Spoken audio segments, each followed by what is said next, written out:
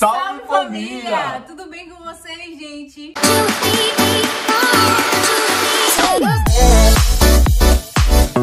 Hoje a gente veio aqui pra contar pra vocês o que foi que levou a gente a sair de Salvador e ir pra São Paulo começar a vida lá. Isso. Mas antes de começar, gente, eu quero te pedir, por favor, se inscreva nesse canal, dê o like, e, é, siga a gente na rede social. Eu vou deixar também aqui o nosso Instagram pra você seguir a gente, né, Paixão? E compartilhe com seus amigos, e com papai e vovó. Todo mundo, chama todo mundo pra acompanhar a gente. E eu já separei aqui até os tópicos, né? O que foi que levou a gente a ir pra São Paulo? Gente, eu vou falar por. Vou começar por mim, tá certo, Paixão? Ah, vai lá, mete bronca. O que aconteceu comigo foi o seguinte: eu sempre quis estudar estética, cosmética e visagismo. Sempre quis fazer essa faculdade aí. Só que em Salvador não tinha, não tinha todas juntas. Dava pra você fazer o curso separado. Só que aí você perdia muito tempo pra se especializar em cada, em cada área, entendeu? Porque não tinha junto. Então eu sempre tinha esse desejo e tal, beleza. Eu trabalhava lá em Salvador como modelo, fazia evento. Eu trabalhava também fazendo maquiagem, cabelo, fazia os frios assim, né?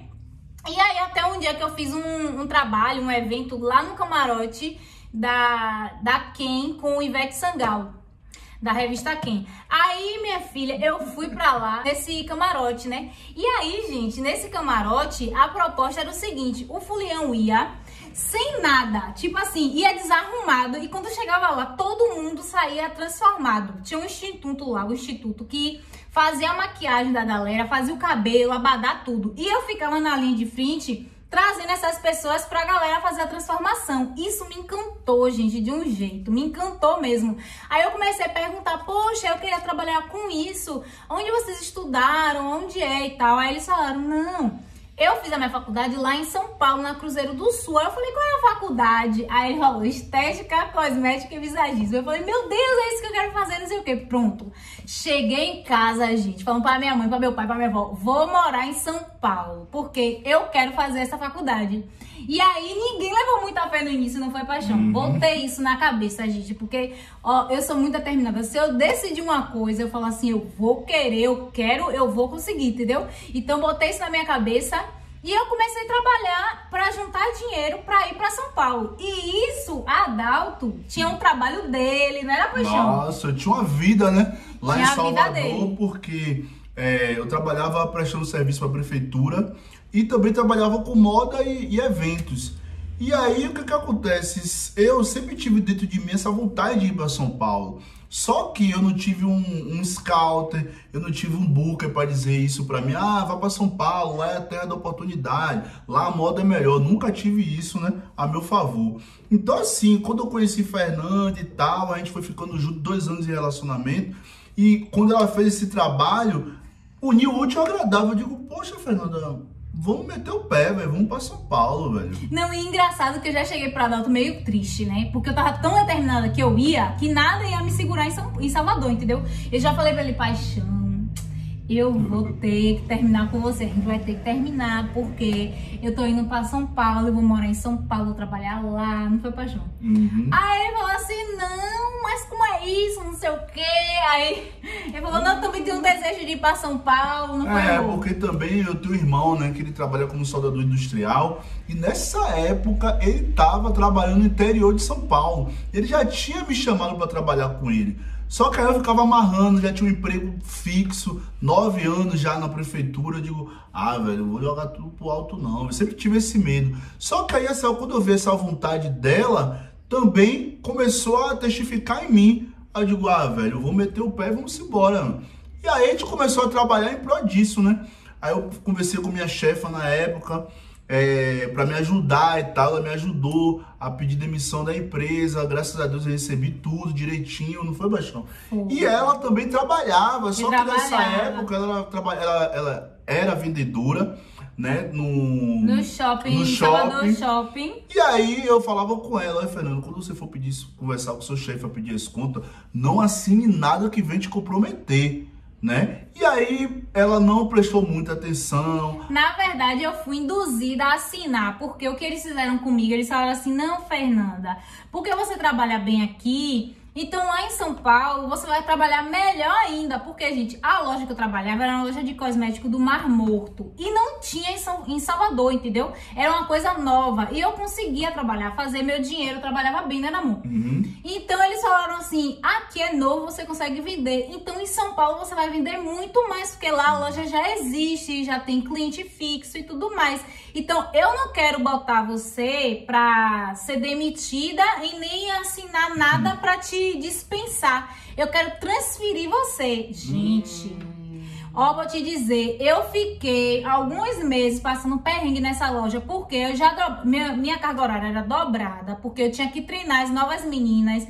Tudo na justificativa de que em São Paulo seria algo assim pesado, sabe? Tipo assim, ah, você tem que se preparar para o mercado de São Paulo que é diferente. Só cheiro. Só pai. cheiro. Eu trabalhei de graça, né? Minha carga horária foi aumentada, eu trabalhei gratuito. Não ganhei nada além disso. Assinei um contrato lá, que na época não tinha nem maturidade dessas coisas, não sabia, assinei. Quando eu cheguei em São Paulo, crente abafando, gente, não é sério, porque a gente tinha feito a- o cálculo, não foi, amor? É. Tipo assim, do valor da faculdade, o valor do aluguel, o valor de se manter. E a no- dentro assim, do nosso ó, dinheiro dava, né, amor? É, porque assim também, né? A gente já tinha alugado tudo pela internet. Eu consegui encontrar a casa pela internet. Tava tudo já certinho. Isso ainda na época mais ou menos de fevereiro, mais ou menos. A gente já tava Só- pagando o aluguel quando a gente achou. Isso, a gente começou a pagar e aí tava tudo certo, né? Nossa família não tava levando muita fé, não, né? Foi num tempo também que a avó de Fernanda veio é, adoecer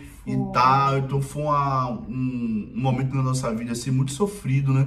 Porque além dela estar doente, é, e ela sabendo também que Fernanda ia se mudar, então a Fernanda sempre viveu do lado da, da família, né? A Fernanda é muito família. Foi quando aí, né, Paixão, além da doença, quando chegou é, a- abril mais ou menos, se eu não me engano, sua avó veio a falecer, né? Isso, e também assim, na verdade, minha avó, quando descobriu que eu ia me mudar, ela ficou, ela, ela ficou muito triste, ela não queria comer mais, nem nada. Aí eu até pensei em desistir, né? Nessa época, eu falei pra Dalton, falei, não, vamos segurar mais um pouquinho. Foi aí que a gente continuou pagando Foi. o aluguel. A gente alugou lá de Salvador pelo OLX, mas a gente. é, Minha avó teve essa questão com minha avó, aí eu falei assim: não, vou aguentar mais um pouquinho aqui e tá? A gente ficou uns três meses ainda em Salvador pagando Isso. o aluguel lá, entendeu?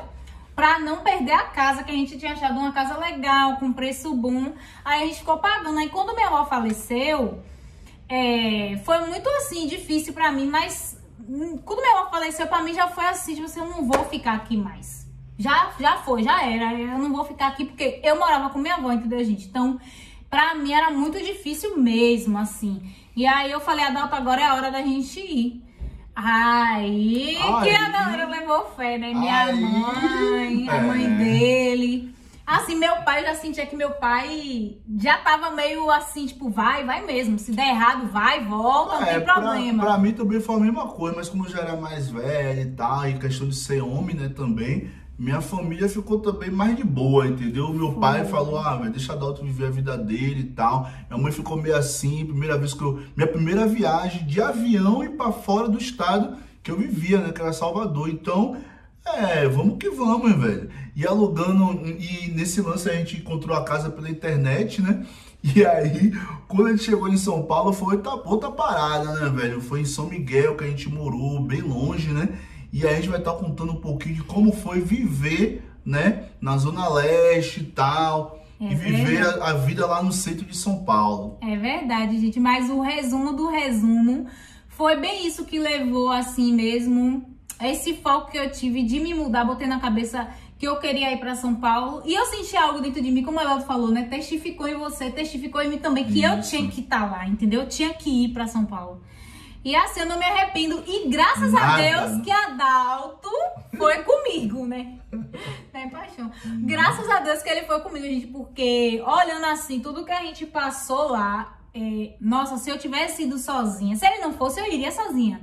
Mas eu não sei se eu ia aguentar tudo que eu aguentei sem ele, né? Então ele foi realmente crucial para que ah. nossa vida desse certo lá, né, amor? Tudo... E assim, né? De namorado, é. pra querer ou não, a gente começou a conviver junto nessa é kitnet que a gente alugou, né? Então era muita coisa pra nossa vida. A gente Tudo já tava novo, né? vivendo praticamente uma vida de casado, né? É. Aí... Mas aí vai ser outro vídeo. Eu não vou contar tudo aqui, não. Gente, hoje é só. Ó, e se liga aqui no canal que a gente vai estar tá contando toda a nossa trajetória até a gente chegar onde a gente está hoje. Mas para você entender o que foi que se passou na nossa vida e para agir também como transformação, como é, motivação para você que tá aí um dia, você pode estar tá passando pela mesma situação que um dia eu passei, né? Uma vontade dentro de vocês é, uma chama acesa, né?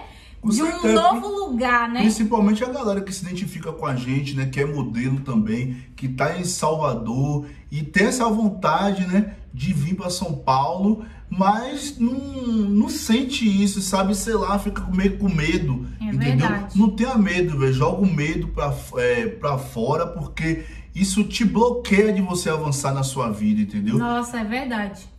O, o, medo, ele, ele congela você. Ele te impede de você avançar. E assim, meu pai, engraçado, né? Que minha mãe... É, minha mãe também me apoia muito em tudo que eu faço. Mas eu lembro que minha mãe me perguntava, você tem certeza?